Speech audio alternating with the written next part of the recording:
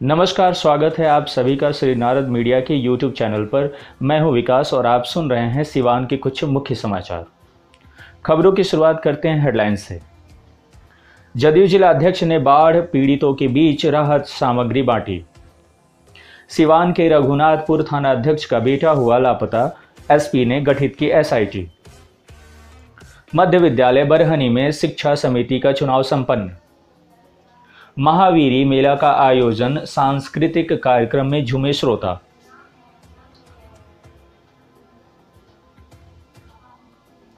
और अब खबरें विस्तार से। सिवान ज़िले के जीरादेई प्रखंड क्षेत्र के विजयपुर मोड़ पर महावीरी मेले का आयोजन मंगलवार को आयोजित हुआ। पूरे निष्ठा व भक्ति भाव से महावीरी भक्तों ने बजरंग बली की पूजा अर्चना की।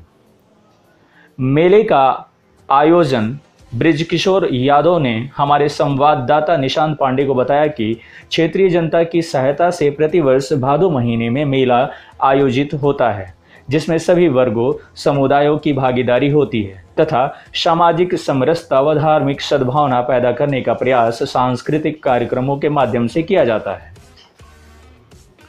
इस मौके पर बीजेपी नेता विनोद तिवारी, भाजपा पिछड़ा वर्ग प्रकोष्ठ के जिला अध्यक्ष राम पुकार चौहान राजद प्रखंड अध्यक्ष हरेंद्र सिंह, मुखिया संघ के जिला अध्यक्ष अजय चौहान, पंचशील के सचिव कृष्ण कुमार सिंह, अर्जुन कुशवाहा, रामनाथ ठाकुर, पैक्स अध्यक्ष सुदामा कुशवाहा, पूर्व मुखिया सुरेंद्र सिंह, विद्यापति सिंह सहित काफ़ी संख्या में लोग उपस्थित थे।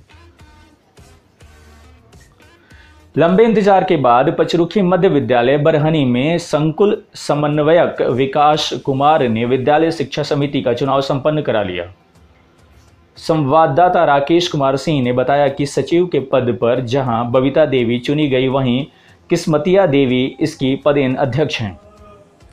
सदस्यों में लालमुनि देवी, उमरावती देवी, मंजू देवी, सुमन देवी तथा सविता देवी अपने कोटि से चुनी गई।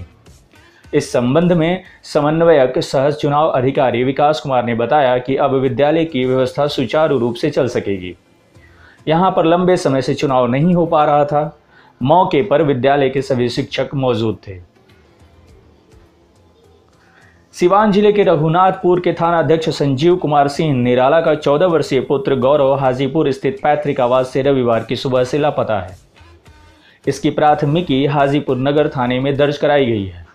जानकारी के अनुसार नवी कक्षा का छात्र गौरव रविवार की सुबह छह बजे कुछ देर में वापस आने की बात कहकर घर से निकला था। हाजीपुर के आरक्षी अधीक्षक ने गौरव की बारामदगी के लिए एसआईटी का गठन किया है। साथ ही निकटवर्ती ज़िले की पुलिस से भी सहयोग लिया जा रहा है। हाजीपुर नगर थाना अध्यक्ष सुनील कुमार ने बताया कि शीघ्र ही किशोर को बरामद कर लिया जाएगा।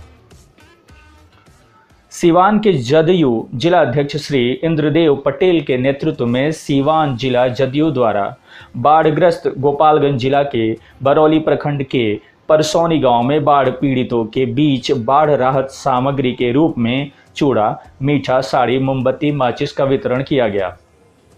हमारे संवाददाता राकेश सिंह ने बताया कि श्री पटेल ने कहा कि इस आपदा की घड़ी में हम सभी लोग साथ हैं। दुनिया में मानवता ही सबसे बड़ा धर्म है, आपदाएँ आती हैं और सभी लोग मिलकर इससे लड़ते हैं।